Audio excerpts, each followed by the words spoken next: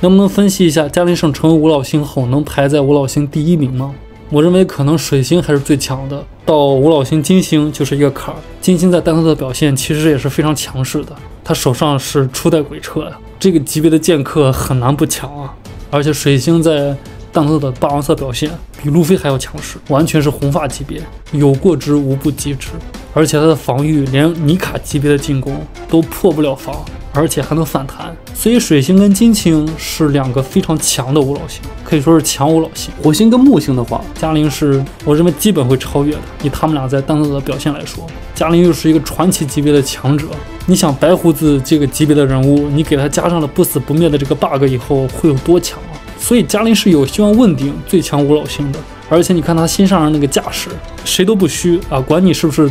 老五老星，因为人家有绝对实力做支撑啊，这个已经不光是伊姆让他成为新五老星这么简单了，他从个人的绝对实力，加上他自己的武装力量等等方面来说，过于强势了。你看他那个坐姿，就跟赤犬在原来三大将之中的这个坐姿一样啊，这就是代表自己就是最强啊。所以说，至少从目前的剧情走向以及嘉陵的剧情潜力来说，尽管有金星和水星这么两个强者存在。